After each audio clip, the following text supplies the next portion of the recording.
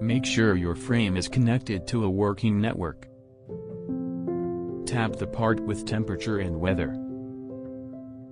You can tap the refresh icon on the upper right corner to refresh the weather status for the location you've set.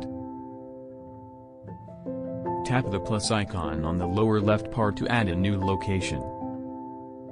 Templates for entering a location full county name plus state abbreviation, for example Los Angeles, CA, or, full county name plus state abbreviation plus country abbreviation, for example, Los Angeles, CA. US.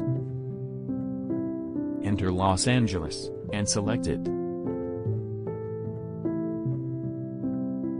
Added it successfully. Tap the greater than icon on its right. You can set it as the default location or delete it.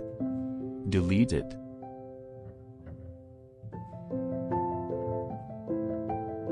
Set it as the default location.